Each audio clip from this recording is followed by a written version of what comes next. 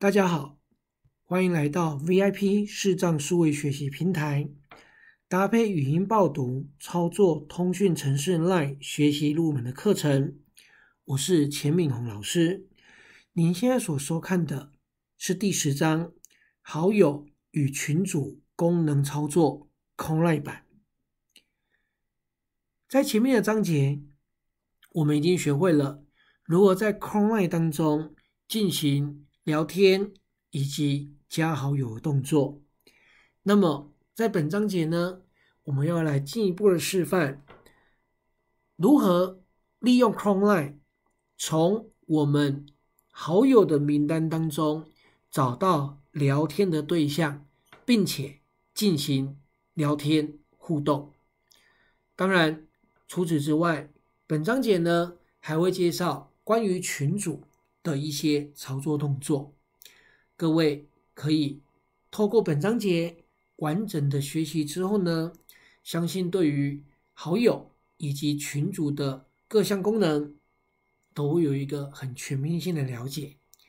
那在这段影片当中，我来示范，在 Chrome 里面要从好友名单找到聊天对象并传讯息，有一个。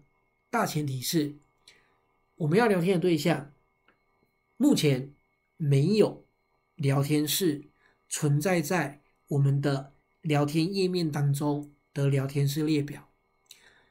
各位要了解到，不管是有人传讯息给我们，或我们传讯息给对方，都会自动开启聊天室，并且存放在。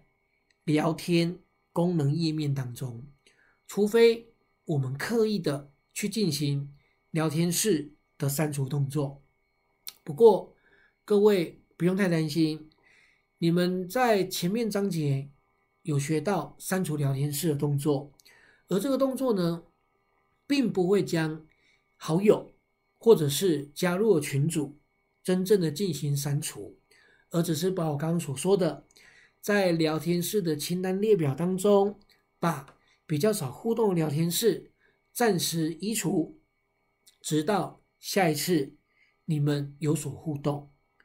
所以，假设我们想要互动的对象很久或从来都没有传过讯息互动过了，那么在聊天室的清单列表当中，并没有存在这个聊天室，那么我们就必须要用。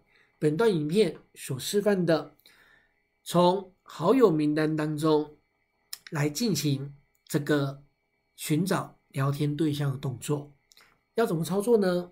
来，目前我画面上面所呈现的已经启动了 Chrome Line，并且已经登录。接下来我就按下 Ctrl 键加上 Home 键，不管现在焦点在哪里，我就把焦点移到。最上面，请输入讯息。好，听到这样的语音报读提示，表示目前焦点在一个输入讯息的编辑模式下。我们按一下键盘左上角的 ESC 取消键，跳回浏览模式，然后再用 Ctrl 键加 Home 将焦点移到 Chrome Line 的最上面，可点击按钮 Line。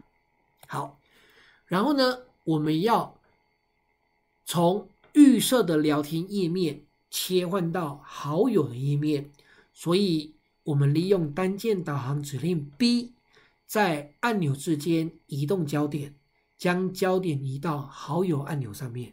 设定按钮：聊天按钮、备忘录按钮、Line V O O M，可点击 More 按钮，可点击聊天按钮、好友按钮。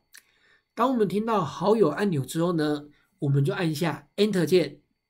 好友。这个时候，语音不会报读完整的内容，但是呢，各位可以透过老师、视讯老师或者是明眼好友的协助，口述影像，我们就能够理解，在中间区块的左半边，原本是我刚刚说过的聊天室清单列表，现在呢就已经切换成我们的好友名单列表。那么这个时候，其实操作逻辑都差不多，有两种方式。第一种方法，我们利用搜寻的方式来快速的搜寻好友的名字，并且进行聊天互动。要进行 搜寻一样，当我们在好友按钮上按 Enter，画面切换之后呢，先再按一次 Ctrl 后，把焦点移到最上面，可点击按钮 Line，然后呢，一样利用单键导航指令一 A B C D E 的一，将焦点直接跳到搜寻文字编辑区，可点击以姓名搜寻编辑区。各位就可以听到很明确的提示，以姓名进行搜寻编辑区。这个时候我们按 Enter 键就能进入编辑模式。如果你很清楚知道好友他的名字，你就可以直接输入。输入完毕，按 Enter 键，只要输入有结果，我们就能够从搜寻结果当中进行好友。后续的互动动作，但是这边要特别注意，Line 允许我们制定修改显示的名称，也就是说，我们许多 Line 的好友可能不会用本名来进行名称的显示，又或者是我们呢会为了要方便去寻找，我们会把好友的名字。自行修改成我们所认识的，甚至有些人的名字呢，会用一些表情图案、图示的方式去做点缀装饰。在这种情况下，除非你很清楚知道对方的名称是什么，否则用搜寻的方式可能不容易搜寻得到。但是只要能确定对方的 line 的名称。用搜寻当然是一件有效率的方法，所以呢，各位可以找到搜寻栏位，按 Enter 之后呢，打关键字并 Enter 进行搜寻，这是方法一。方法二，如果我不确定对方的名字内容是什么，怎么办呢？我们就从好友的名单当中去找，或许花点时间，但是一定可以找到我们要互动对象。怎么做呢？一样，切换到好友功能之后呢，我们 Ctrl 后，焦点调到最上面，可点击按钮 Line。好，接下来我们可以利用 I 单键导航指令 I，在各个项目之间移动焦点。各位也可以用 G，因为每一个好友都会有一个大头贴，而这个大头贴呢，就是图片属性，所以利用。单键导航指令 G 也可以在各个好友名单当中去切换，所以要按 I 还是按 G，就由各位的偏好习惯来进行。这里我示范，我按 I，在好友清单项目当中去移动焦点。聊天按钮、备忘录按钮、Line V O O M，可点击某某网图片。老婆时间自由，星之舞图片经济自由。好。我们可以听到，当我们跳到任何一个好友的名字项目上之后呢，会听到好友的名字以及他的个性签名。当然，不是每个用户都会去设定个性签名。那以此类推，我们继续按 I 由上往下去移动焦点。可点击前小林图片前，可点击郑哲安图片，可点击千亿 C 动，可点击配乳图，可点击陈通，可点击 Star 黄忠雄老。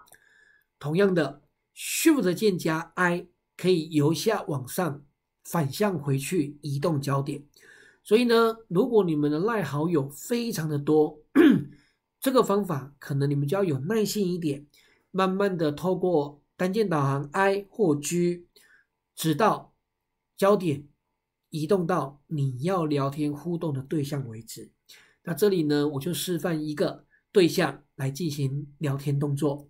可点击陈，可点击配乳，可点击千亿 C 动，可点击郑哲安，可点击钱小丽，可点击某某王。